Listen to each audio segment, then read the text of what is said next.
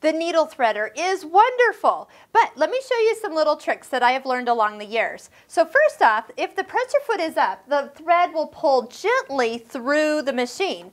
Sometimes it's nice to lower the presser foot, so I'm going to push the down arrow, and that will put a little resistance on the thread. That sometimes can make it a little easier. It also moves the foot a little bit out of your way, so that's one way to do it. You don't have to, but that is helpful. Now, when you bring this down and all the way down, you'll notice the little head comes around around the, uh, the eye of the needle from the back side. So here's the step. I like to bring it down about halfway, wrap the thread around the hook over here. Now notice I'm not getting my thumbs in there, so get used to kind of catching it on the way down.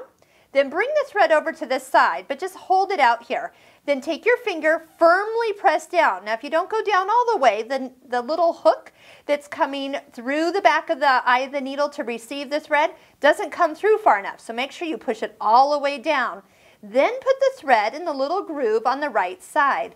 Now notice I'm lifting the thread up gently. I'm not pushing to the back, but just up.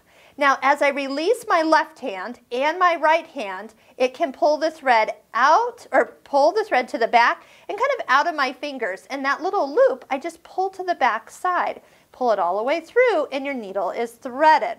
So let's do that one more time.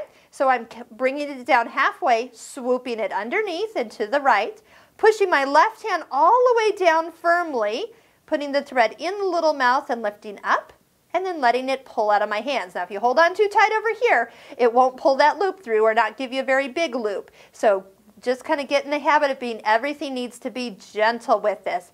If your needle is not in the highest position or if you inserted your needle and you didn't get it to the proper height, and your needle threader will not work. If you keep trying to use your needle threader and it's not lining up with the eye, that is going to bend it to the right or to the left. So you might need to do a little kind of minor surgery in there and get it tweaked to the right or to the left if you have bent it. And if you do break it, your dealer can replace that and it will be worthwhile because you are always needing to thread that needle. So little practice and be gentle but firm. Does that make sense? Happy needle threading.